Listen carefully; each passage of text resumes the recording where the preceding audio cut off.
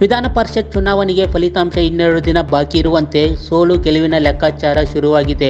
Congress, BJP, JDS ಈ ಮೂರು ಪಕ್ಷಗಳ ನಿರೀಕ್ಷೆಗಳು ಹೆಚ್ಚಿವೆ. ಇವು ತಮ್ಮದೇ ಆದ ಲೆಕ್ಕಾಚಾರದ ಮೂಲಕ ಗೆಲುವಿನ ಲೆಕ್ಕಾಚಾರ ಹಾಕುತ್ತಿವೆ. ವಿಧಾನ ಪರಿಷತ್ ಇಪ್ಪತ್ತು ಕ್ಷೇತ್ರಗಳ ಇಪ್ಪತ್ತೈದು ಸ್ಥಾನಗಳಿಗೆ ನಡೆದ ಚುನಾವಣೆಯಲ್ಲಿ ಕಾಂಗ್ರೆಸ್ ಹದಿನೈದು ಸ್ಥಾನಗಳಲ್ಲಿ ಗೆಲ್ಲುವುದಾಗಿ, ಅದೇ ರೀತಿ ಬಿಜೆಪಿ ಹದಿನೈದಕ್ಕಿಂತ ಹೆಚ್ಚು ಸ್ಥಾನಗಳಲ್ಲಿ ಜಯ ಗಳಿಸುವುದಾಗಿ ಕಾರ್ಯಕರ್ತರು ವಿಶ್ವಾಸ ವ್ಯಕ್ತಪಡಿಸಿದ್ದಾರೆ. ಎಲ್ಲ ಪಕ್ಷಗಳ ಮುಖಂಡರು ತಮ್ಮ ಪರವಾಗಿದ್ದ ಸದಸ್ಯರನ್ನು ಕರೆತಂದು ಮತ ಹಾಕಿಸಿದ್ದಾರೆ. ಆದರೆ ಮತಗಟ್ಟೆಯಲ್ಲಿ ಭದ್ರವಾಗಿರುವ ಭವಿಷ್ಯದ ಬಗ್ಗೆ ಲೆಕ್ಕಾಚಾರಗಳು ನಡೆಯುತ್ತಿವೆ. ಬೆಳಗಾವಿ ಚುನಾವಣೆ ಇಡೀ ರಾಜ್ಯ ಗಮನ ಸೆಳೆದಿದೆ. ಬೆಳಗಾವಿಯಲ್ಲಿ ಕಾಂಗ್ರೆಸ್, ಬಿಜೆಪಿ ಪಕ್ಷ ಅಭ್ಯರ್ಥಿಗಳ ನಡುವೆ ನೇರ ಹಣೆ, ಹನಿ ನಡೆದಿದೆ. ಈ ಚುನಾವಣೆ ಕಾಂಗ್ರೆಸ್ ಮತ್ತು ಬಿಜೆಪಿ ನಡುವಿನ ಗುದ್ದಾಟ ಅಲ್ಲವೇ ಅಲ್ಲ. ಡಿ ಕೆ ಶಿವಕುಮಾರ್ ಮತ್ತು ರಮೇಶ್ ಜಾರಕಿಹೊಳಿ ನಡುವಿನ ಜಿದ್ದಾಜಿದ್ದಿಯ ಯುದ್ಧ ಅನ್ನೋದು ಸ್ಪಷ್ಟವಾಗಿದೆ. ಈ ಯುದ್ಧದಲ್ಲಿ ಯಾರು ವಿಜಯಶಾಲಿ ಆಗುತ್ತಾರೋ, ಫಲಿತಾಂಶ ಏನಾಗುತ್ತೋ, ತ್ರಿಕೋನ ಸೆಣಸಾಟದಲ್ಲಿ ಯಾರು ಗೆಲ್ಲುತ್ತಾರೆ ಅಂತ ಹೇಳೋದು ಕಷ್ಟವಾಗಿದೆ. ಯಾಕೆಂದ್ರೆ ಬೆಳಗಾವಿ ರಾಜಕಾರಣವೇ ಹಾಗೆ. ಹೇಳೋದೊಂದು, ಮಾಡೋದೊಂದು, ಇದು ಬೆಳಗಾವಿ ಪಾಲಿಟಿಕ್ಸ್ ಜಾರಕಿಹೊಳಿ ಸಹೋದರ ನಡೆ ಯಾರಿಗೂ ತಲೆಗೂ ಹತ್ತುತ್ತಿಲ್ಲ.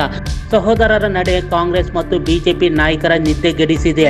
ಬೆಳಗಾವಿ ಜಿಲ್ಲೆಯಲ್ಲಿ ಜಾರಕಿಹೊಳಿ ಸಹೋದರಿಗೆ ಇರುವ ಹಿಡಿತ, ಅವರ ನೆಟ್ವರ್ಕ್, ಅವರ ಬೆಂಬಲಿಗರ ಪಡೆಯ ಪ್ರಾಮಾಣಿಕತ, ಶ್ರಮ, ಲಖನ್ ಜಾರಕಿಹೊಳಿ ಅವರನ್ನು ಪರಿಷತ್ತಿಗೆ ಮುಟ್ಟಿಸುತ್ತೆ ಎನ್ನುವ ಮಾತುಗಳು ಕೇಳಿಬರುತ್ತಿವೆ ಬೆಳಗಾವಿಯಲ್ಲಿ ಪಕ್ಷೇತರ ಅಭ್ಯರ್ಥಿಯಾಗಿ ಲಖನ್ ಜಾರಕಿಹೊಳಿ ಸ್ಪರ್ಧಿಸುವುದರಿಂದ ಇದರ ಇಂಪ್ಯಾಕ್ಟ್ ಯಾರ ಮೇಲೆ ಬೆಳಲಿದೆ ಎನ್ನುವುದು ಕುತೂಹಲಕ್ಕೆ ಕಾರಣವಾಗಿದೆ. ಬಸವರಾಜ ಬೊಮ್ಮಾಯಿ ಮತ್ತು ಯಡಿಯೂರಪ್ಪ ಅವರಿಗೆ ಈ ಚುನಾವಣೆ ಪ್ರತಿಷ್ಠೆಯ ಪ್ರಶ್ನೆಯಾಗಿದೆ. ಎಲ್ಲ ಪಕ್ಷಗಳು ಮುಖಂಡರನ್ನು ಕರೆಸಿ ಗ್ರಾಮ ಮಟ್ಟದಲ್ಲಿ ಆಗಿರುವ ಮತ ಚಲಾವಣೆ ಬಗ್ಗೆ ಲೆಕ್ಕಾಚಾರ ನಡೆಸುತ್ತಿದ್ದಾರೆ. ಯಾರು ನಮ್ಮ ಅಭ್ಯರ್ಥಿಗೆ ಮತ ಹಾಕಿದ್ದಾರೆ ಎಂಬುದನ್ನು ಲೆಕ್ಕ ಹಾಕಿ ಗೆಲುವಿನ ಬಗ್ಗೆ ವಿಶ್ವಾಸ ವ್ಯಕ್ತಪಡಿಸುತ್ತಿದ್ದಾರೆ. ಚುನಾವಣೆ ನಡೆದ ಇಪ್ಪತ್ತೈದು ಸ್ಥಾನಗಳ ಪೈಕಿ ಬಿಜೆಪಿ ಹದಿಮೂರರಿಂದ ಹದಿನೈದು ಸ್ಥಾನಗಳು ಬರಬಹುದು. ಕಾಂಗ್ರೆಸ್ ಹತ್ತರಿಂದ ಹನ್ನೆರಡು ಸ್ಥಾನಗಳು ಬರಬಹುದು.